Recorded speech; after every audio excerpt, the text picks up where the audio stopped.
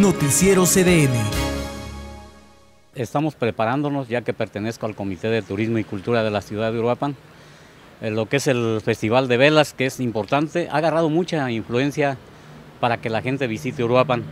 Así como la Noche de Muertos en Páscoro, como artesanos tenemos que prepararnos para el concurso y los compañeros que van a presentarse, si necesitan algo de mercancía de la de nosotros, les damos una poca de mercancía para que vendan ahí en el tianguis.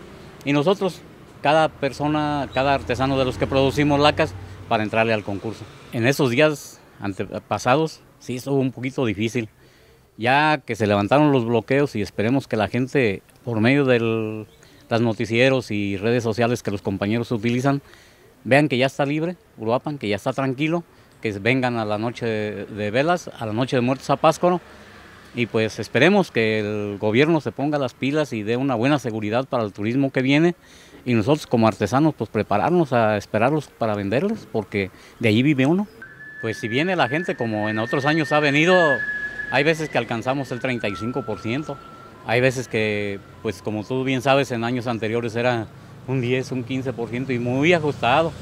Pero esperemos que ahorita la temporada de vacaciones ya vino gente.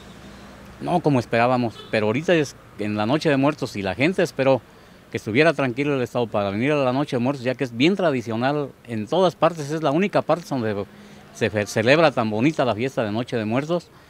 Y es un festival, y es un tianguis, ya es una festividad ya no es tanto la devoción de guardarle luto a los muertos, sino que ya una tradición para la cultura del pueblo de Michoacán. Tus comentarios y sugerencias son importantes para nosotros. Búscanos en Facebook y Twitter y no olvides suscribirte a nuestro canal. Noticiero CDN.